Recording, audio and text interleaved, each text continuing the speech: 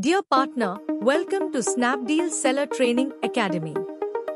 In this video, we will learn how to measure the dead weight and volumetric weight of a package.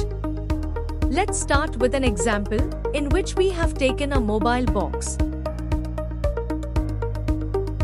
To measure the dead weight of this package, we will place it on the weighing scale.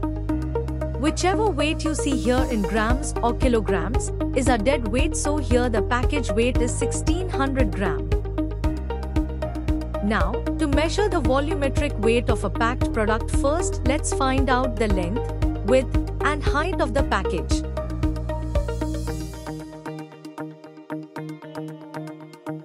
Let's assume that package dimensions are in centimeter and length of package is 30 centimeter, width 20 centimeter and height is also 20 centimeter.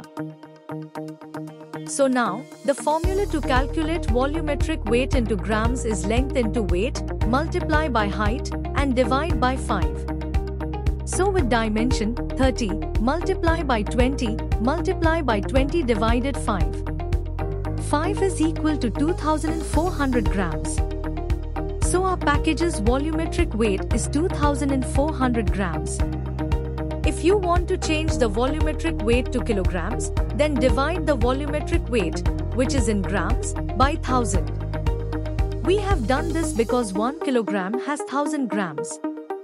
To calculate logistic costs, whichever dead weight or volumetric weight is higher that weight is only considered. In this case volumetric weight is higher, then we will only consider volumetric weight to calculate logistics cost, which is 2400 grams or 2.4 grams. With this we have completed steps to calculate dead weight or volumetric weight of a package. I hope this video was useful for you. Don't forget to subscribe to our channel for updated videos on Snapdeal. For watching the video. Happy selling!